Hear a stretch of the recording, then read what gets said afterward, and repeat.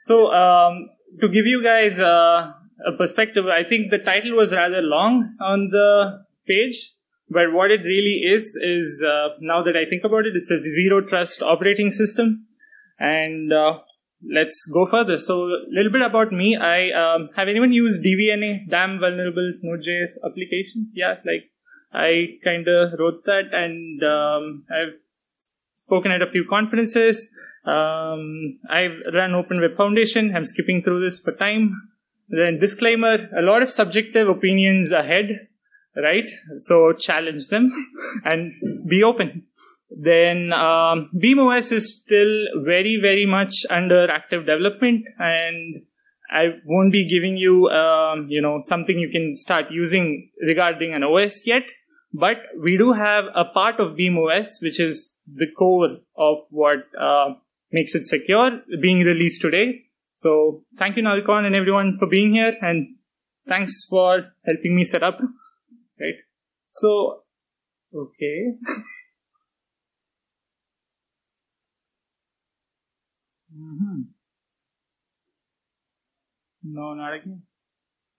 Oh wait, I don't think there is an issue. So yeah, what is an operating system? Like, uh, just a few words. Anyone would like to share what comes to your mind when you hear what is an, an operating system?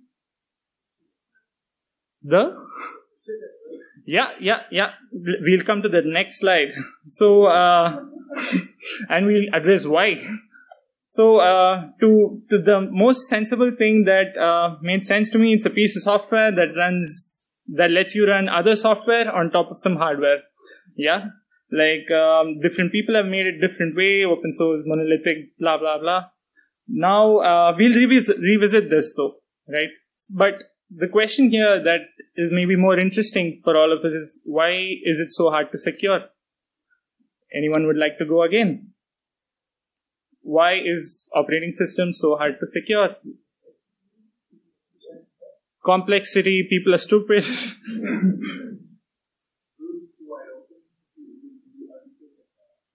yeah so root is too wide open. Like if you want to do anything in that in a linux operating system or maybe others you need some sort of administrative privileges and it's too open. So that's you know a big thing. Um, fundamentally you guys sort of answered it right? Because it's designed to trust. It's designed to trust users with being sensible and applications with being secure. Now uh, there's also other aspects like uh, drivers and hardware that you know contribute to making the operating system work and those also can run into issues. But first let's i mean we are addressing those two.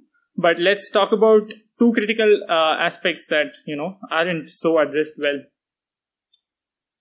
And how do we not trust users? Like you're making the operating system for a user. How do you not trust the user? Who are you going to serve the operating system to? And um, you know let's look at that.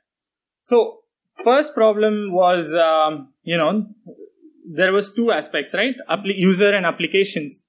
So let's look at applications first right? If we run apps in a vm then you do get some level of confinement which is good. It's a sandboxing mechanism. And uh, there was supposed to be a demo but uh, you know what happened. But i'm not gonna leave you high and dry there. There's gonna be something i can show blog.openwtp.org. Yay. Um, yeah. So, what I really uh, maybe want to show here is um, uh, has anyone heard of uh, Chromium OS's or Chrome OS's crosvm? It's a um, you know really really cool project uh, by the Google team that is basically like QEMU but built entirely in Rust. So you get the benefits, security benefits of uh, having a code base in Rust, and also a lot of performance benefits that I noticed. So what you're seeing here, uh, I'll just maybe zoom it in further. So, so what you're seeing here is uh, me trying to start Firefox inside uh, cross crosvm, and once it starts, it's kind of indistinguishable in terms of performance. Like you can resize it, you can play 4K videos on it, you can do almost anything on it. And the way it works is uh, it actually runs an X server inside and it runs the application inside on an X server and then you just see the frame buffer being rendered in the window here. So um, there is no, you know, like passing in an X server from the host into the container or virtual machine, and you know, it's it's as good as it gets uh, in terms of uh, isolating and still getting a video output. And because we are using Virtio GPU, we get to do even 3D acceleration. You can run maybe games with low FPS, but that's not the focus here. The focus is you can run decent browsing and all sorts of general purpose applications pretty securely. So we did this as a POC some time back. And uh, because, you know, Bheem OS is, you know, supposed to run everything in VMs, we wanted to figure this part out. Um, so it does things like resizing, clipboard, um, um, you know, mouse inputs. I guess I've written about it. Ah, yeah, file pass through. So let's say you have a file in your computer.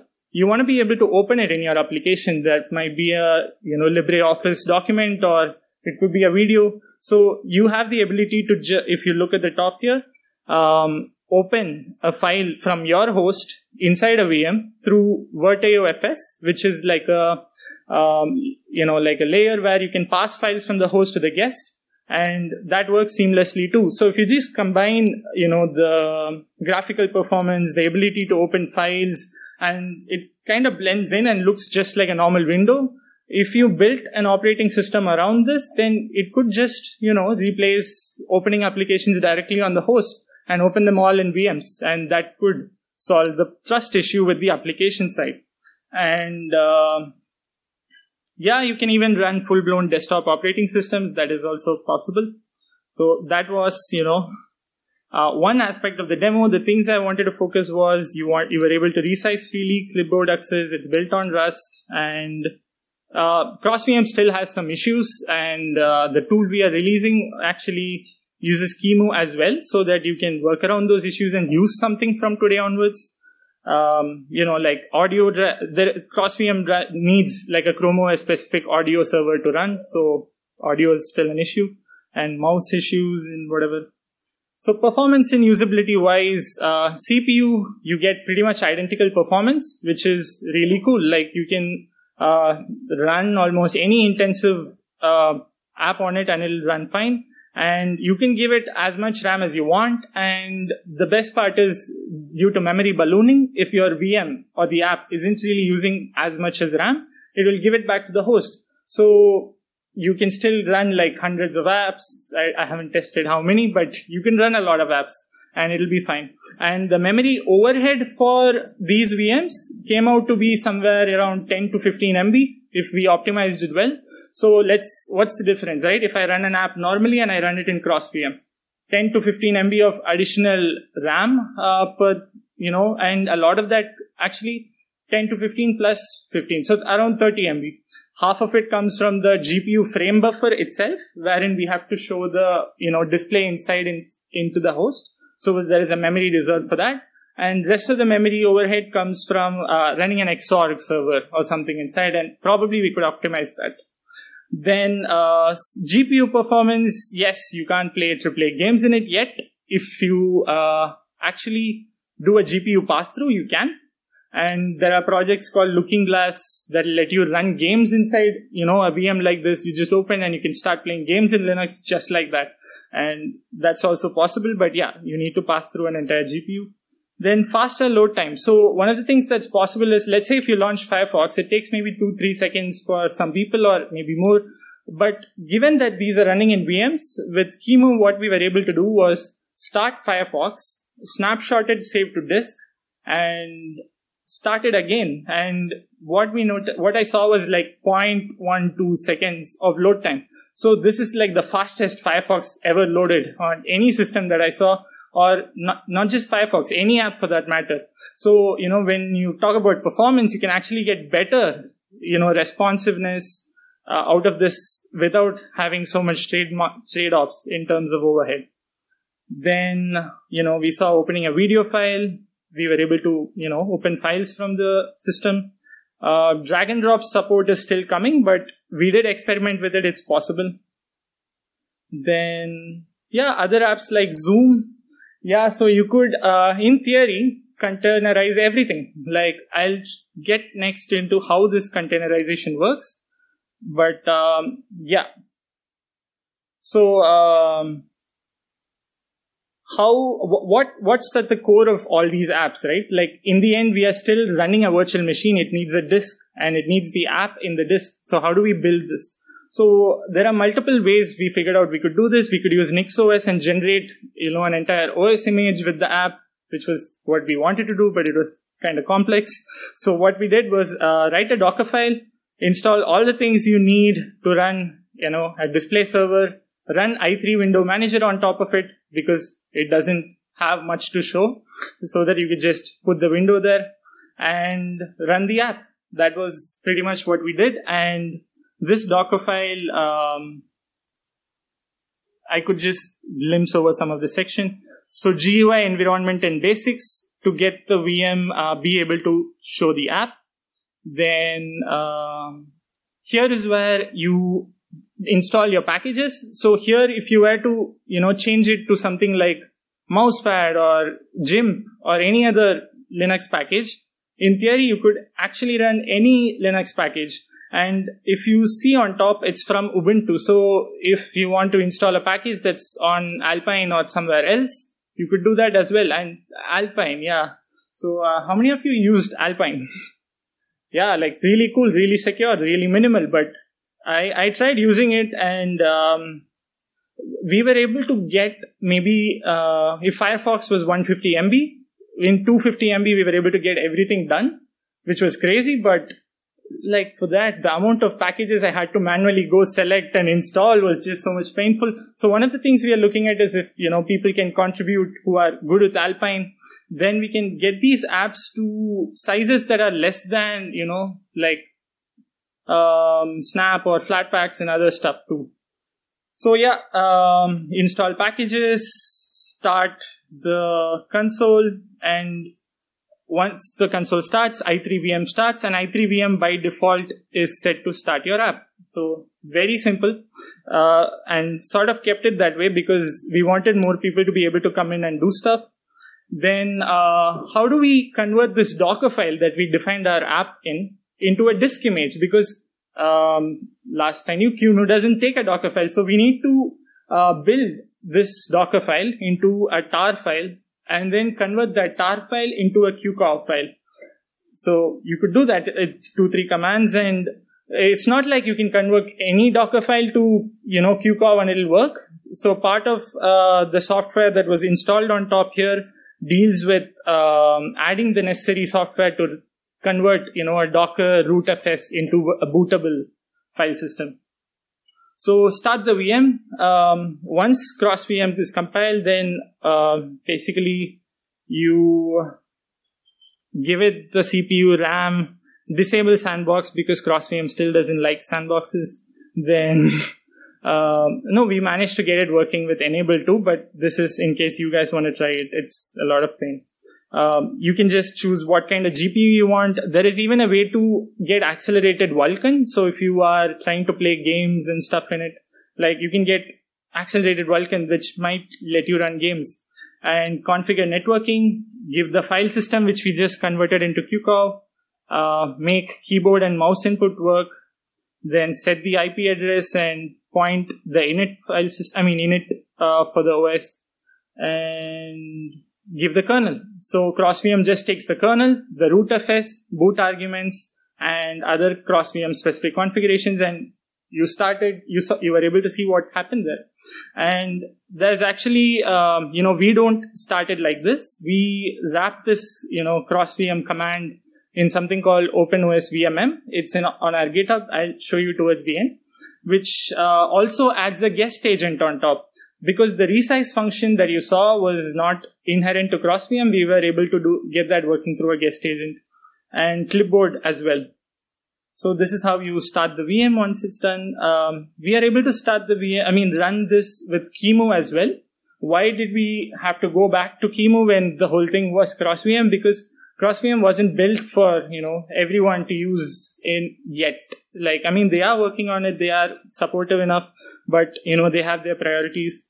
So, uh, with QEMU, everything works and it's quite seamless. Uh, so that's something too.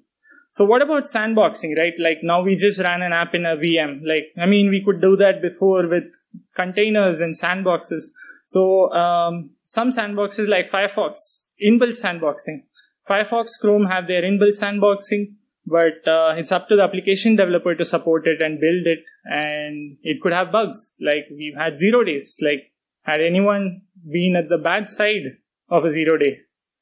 or seen people at the bad side of a zero day because it reminds me like the previous talk i know someone who lost like uh, crazy amounts of money because there was a targeted zero day attack on them like because they were rich so these things happen too. And um, you know so not maybe the best. Firejail and Bubblewrap yeah you can do it uh, but you should do it. Users should do it. The whole point is to not trust the users. So uh, yeah so that's something that's possible too. And the recent uh, and probably the best so far what we yeah yeah yeah. Oh that's been happening for a while oh that's what the laugh is for okay i got it so uh, flatpak snap and app image so this is um, pretty much in the right direction because it takes the um, you know user having to do things or developer having to do things and puts it up in a packaging environment. So the app packages or, you know, the community itself can make it more secure, which is wonderful. But again, some of the limitations still apply. If there is a zero day, there's a privilege escalation sort of scenario, you still, you know, lose things. Um, there are other limitations as well, but yeah, like short of time. Then there is projects like X11 Docker and CrossGenie. So these go a step further, lets you run the application itself in a VM, but renders it on the display manager of the host through, um, you know, like a proxy X server running on top of the real X server so that you can sandbox it and apply security controls on top of it, which is really good too. Like, uh, you know, in fact, I was a user of X11 Docker and then I realized, yeah, maybe it could be more easier and straightforward for people, right? So, so is KVM and, you know, sandboxing the best then? It, let, I mean, that's up to you to decide, but what I can say is bugs are still possible, but the attack surface is less. So, um, it's the attack surface is now limited to the KVM code base in the Linux, you know, kernel and like the source code. Uh, instead of the whole user space, everything and everything. Uh, then comes crosvm and QEMU source code. The next layer, I mean, surface. Then Virtio drivers that are running to support the emulated devices inside the crosvm because these Virtio drivers also run a process on the host and they can be sandboxed as well. So sandboxing can be applied on top of this KVM's, you know, virtualization. So that's also a thing to note. And the guest agent code, you know, the, guest agent responsible for resizing and clipboard. So this is the attack surface compared to quite literally almost the entire Linux, uh, you know, source code when you use normal sandboxing. I mean, you could do limiting, uh, but this makes it a bit more easier and it is in the end lesser attack surface overall. So isn't it like QubesOS, the, the comparison that I mentioned? Um, it, it is sort of, but there are some differences. So um, Bheem OS is also, you know, going to run uh, devices in a DevVM, networking stack on top of it on NetVM, and you will have a AVVM for separate uh, audio, mic, webcam, and it'll use Pipewire so that you can securely give it access from all the apps. So yes, it is containerizing the uh, underlying aspects as well, as well as there are more containers, but yeah, I'm not putting that up here. It'll look too much. Then, but there are some key differences. QubesOS uses Xen at the core, and that m- might be a plus for some people because of again the code base reasons. But uh, Linux KVM gives a lot of advantages too. Like you get you know accelerated graphics with Virtio GPU, even Vulkan um, uh, acceleration or you can do a lot more things, right? It's it's much faster. Like I said, the crosvm which you saw could play 4K videos on 4K, but you can't do that in QubesOS yet. And QubesOS is aimed at experts in a sense. Like, um, how many of you tried using QubesOS? How many of you lasted for more than like a week? a week? That's good. so, uh, like what, I mean, I tried using QubesOS. It was really a piece of art, in my opinion. It kind of gave the whole understanding of what's possible and everything. Uh, but yeah, it was a bit difficult for newcomers to adopt and, uh, I mean, even experienced Linux people to adopt. So yeah, that's an issue but uh, it is mature and tested versus something like this, which is just yet being hopscotched and put together. So yeah, there are differences, but some of the other differences are like, I mean, the key difference here is one app per VM. In QubesOS, you have domains. You could have like a personal domain, a banking domain, a disposable domain, etc., and then you can have multiple apps on top of it. So it's like you have to create these domains, you have to install apps inside, you have to manage permissions. There's a lot of things to do. Um, it might work for some people better, but the thing is, if one one app in the domain gets exploited, you still can exploit the other apps. And if the domain has networking, then you can exfiltrate the data out of the domain. So that is probably um, okay because a lot of people use it in a way that such ca- things can't happen, but it's still a possibility. But with uh, Bheem OS, we aim to run everything inside a VM, even every single app. So even if an app gets exploited, it can only at best leak the, you know, app data. So that's that. Wow. so cross-platform support. You could run Android apps, you could run Windows apps and Mac OS apps through these. We did experiment with these and they worked fine. Um, again, yet to be built into something very usable. Immutable file system. So um, right now, um, uh, like NixOS, um, how many of you are familiar with NixOS? Okay, then I'll uh, like go a little lower than that. So um, you need to store apps. You need to store the core OS files. And these things don't really change. Only during runtime, certain things change. So what we managed to do was make the whole file system of the app immutable. So let's say you run an app, you close it and open it again, you don't get the changed file system. You're able to go back to the immutable file system. Why is this great? Because if an exploit did happen, the changes won't last if you close the app and restart. And during exploitation times, the, the apps crash. And if the apps crash, then, you know, when you reopen it, the exploit could run, but in this case, the file system is immutable, so it won't run. And, you know, there are some benefits to being immutable. Then declarative permissions, you can give app level permissions for what file system it can access, clipboard, whether it can automatically get clipboard or you have to do some special keys or no clipboard at all. What kind of audio, video, webcam, mic can it do, USB? I mean, you can just do crazy things for each app. And all of this is defined, defined at the virtualization stack. So it's not like some other code that needs to be written. You can just tell crosvm or QEMU not to give it and that's it. So that's good. Then workspaces.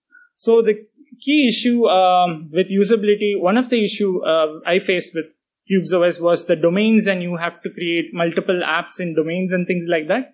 Here, given that every app runs in a VM, you could just have logical separations like how you have workspaces in Ubuntu. Like you go down, it's a different workspace and you can segregate these workspaces uh, with unique file system for personal use, for work use and things like that. And you will still be able to do things between these workspaces. It's sort of like Qubes' domains, but again, every app runs in a VM and it's more of a logical separation. So you get high performance window management stuff still going on. So you can run GNOME, KDE, whatever you want for each of these workspaces. And, um, like you, um, get better usability. So that's the focus here. Instead of one, you know, window manager where all the domains are coming there, which is kind of very clustered. So you can even run a gaming workspace with GPU pass through. Can the workspace by default is like a logical separation. So what I mean is it's a container. It's okay because the apps themselves still run in virtual machines. but it could just be a full blown VM. Like if you want to do some development and you're struggling, just create a Ubuntu VM, make it a workspace and go ahead with your development. And it just behaves like a normal VM. But you also get the benefit of inter workspace features that other workspaces get, which makes it even more usable. Then, um, yeah, I guess that's some of the points here. Remote rendering. So all of the apps run in VMs. So the VMs can run anywhere. like you could have a, if you're a corporate, you could have like centralized servers where all of these, you know, some of these sensitive apps might render and you can just remote it to the user. That way the sensitive files need not even be at the user's computer. I mean, it's exactly the same as remote desktop, but you can now do it at per app level. So the user doesn't even feel the overhead of doing, you know, remote desktop and things like that. And you could make an entire computer a thin client but still have better performance thanks to you know the window manager being locally rendered. Maybe that's one thing. Enterprise lockdown. So yeah so this is crazy now um, i'll come to this actually so uh, one of the points someone mentioned was you know as an admin user you could do a lot right? The thing is, admin user should be able to do everything, but the problem is to do even something basic, you need sudo. And because you now need sudo for something basic, you end up doing a lot of crazy things. But with Q, I mean, with uh, Bheem OS, what you're now able to do is, uh, as an admin user, you can do OS installation, workspace management, you know, define the security controls and things, and set up monitoring, do remote management, of any aspect of the operating system if you permit it that is. Uh, but as a standard user you without sudo you still get to install and use apps. You get to update you get to do backups. You get encrypted workspaces where your sensitive files like you know in your personal workspace is encrypted. And everything uh, needs to be authorized by the admin initially to be able to do this so that way you get full freedom to do whatever you're authorized to do and if you need something more, if you are the person, you know, it's in your personal laptop, then you can consciously use sudo only where necessary instead of just sudo sudo everywhere for random things. Right? So this gives a lot more clarity on what is the sudo being used for and it provides that security. Why are we able to do this? Because apps run in VMs, so you can just download a QCOW file, start it in QEMU without sudo privileges, and you can you have an app updates and backups, update the QCOW image, app, app updates or the tar file. Backups, copy the mounted app folders where, you know, your Firefox profile is, things like that. No need sudo for that as well. Encrypted workspaces, store your app data and sensitive data on a, um, you know, some sort of crypt disk, you know. That way, only you unlock it when you unlock the user or something. So the admin need not even be able to see the user data, but he can still remotely manage the security controls. So, and they can't be overridden because that part can only be done by the admin user. And so these are some things that are, you know, I just wanted to answer that initially. Then, yeah, now that puts you into enterprise lockdowns. Given that the user is now only a user, not sudo anymore, their computer is partly theirs and partly yours now. So you can run your local, um, you know, IDS, IPS kind of there and have the, the user has no way to do anything on top of it, especially if you do secure boot and other controls on top. Then, um, applications, files, networks. Oh yeah. So these three things together form a single rule. So you can say Firefox app can access only the downloads folder and it cannot access these, these, these networks. You can say another Firefox instance, because you can have multiple instances, can access only the internal network, but it cannot access any files. So you can have a different browser for internal network and internal data, and it has no access to files. And you have a different browser for general browsing. So this application file network combination rules are now possible. That could lead to so much uh, control that the user can still do a lot of things, but is still under, you know, a corporate's guidance of things. Then authentication, revocation remotely. Uh, what's the time like? Am I running late? Seamless updates. Um, yeah, so you can update the base OS without um, you know, like losing any of your app data. Because all of these apps run in VMs, you can just hibernate the apps, do the update, res- resume the apps, and voila, like five seconds, 10 seconds, if you're on a good system and you just, it's like closing your screen and opening, you have everything back on, and that's OS updates for you. Then uh, rollbacks are also possible because you can, you know, it's just files, you can switch back. Then powerful monitoring, because everything happens in a VM bridged by middlewares, you can easily look through what Virtio FS is exposing, what uh, the network uh, VM. So you have a net VM which sends the traffic, right? So you can see what network uh, connections are happening. You can look at the VM memory. You can do heuristics on top of you know the overall activity that's happening. These sort of monitoring was not possible because you know even AV softwares were not able to do so far.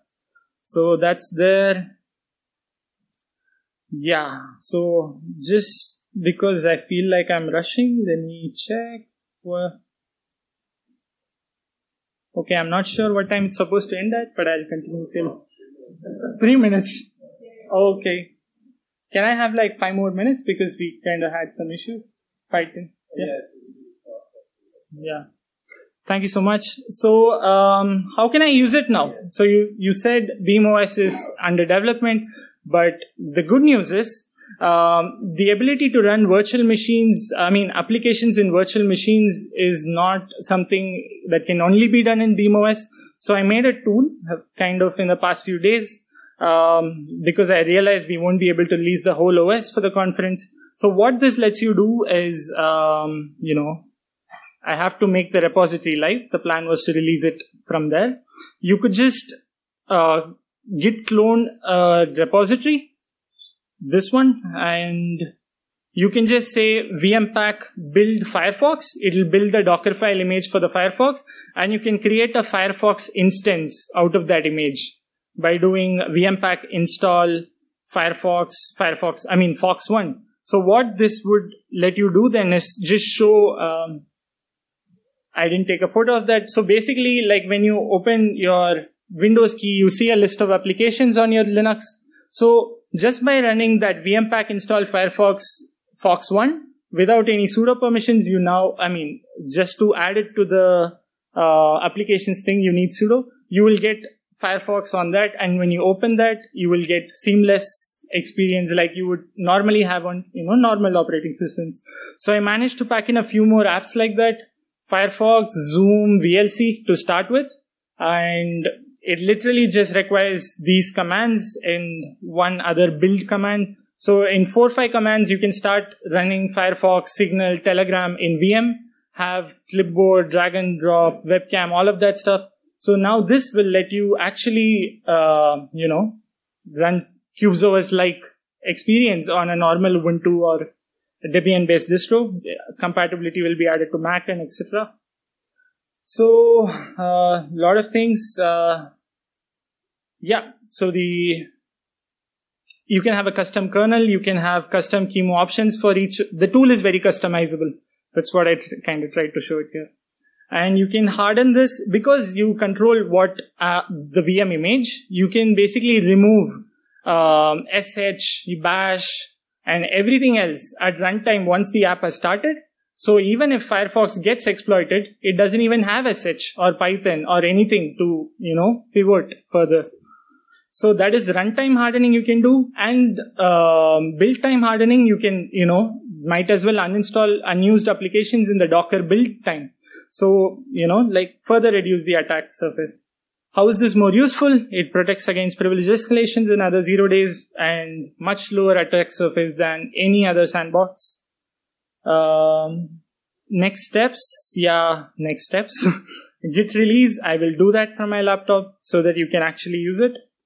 Then what did we see so far?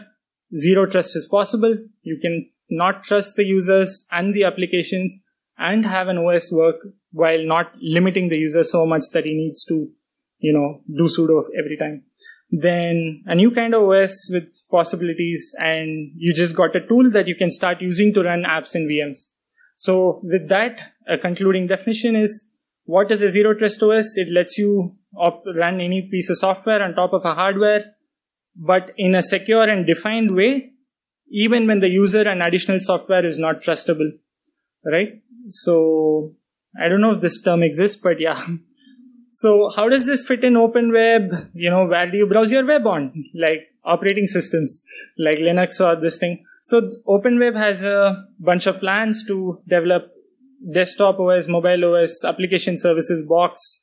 A box is letting you self-host seamlessly and a voice assistant and things like that. But all of these are pipe dreams so far, except the VMPack tool. So take it with a grain of salt. But if you would like to contribute, uh, there is a matrix channel, or you could email me, and I would really appreciate that. So I'm skipping the master plan. Um, yeah, feel free to contribute. Um, code is in GitHub dot slash open w3b. And a fun note about W3B Web3 is supposed to decentralize things, but uh, I don't think it's happening. But with this sort of a master plan, what you saw is make um, you know everything free, open source, self-hosted, federated, and friendly. You can actually decentralize the web. So you know that's something I wanted to add. Credits Qubes OS, Spectrum OS. Uh, Spectrum OS is another project that's working on something very much the same. Uh, then you know a lot of people and especially null and nullcon i basically got my first security um, meetup at null community meetups and one of the first conferences i attended was nullcon. So all of this came because nullcon was there. So thank you. Yeah. Any i don't know if we have time for questions but do we have questions Maybe one? One question. Two. Yeah. Go ahead. Yeah, okay.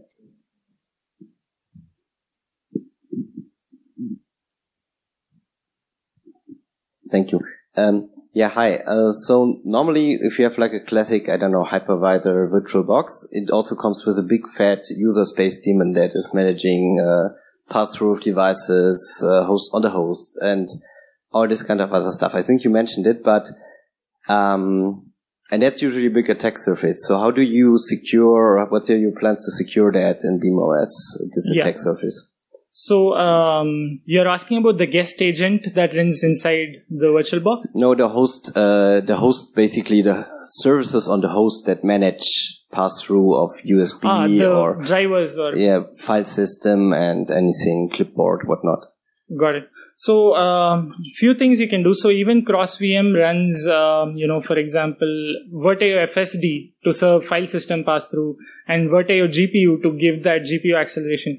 It does sandbox it as a Linux process. So, in a sense, um, instead of the whole Linux ecosystem, you are limiting the attack to these things and you are sandboxing it.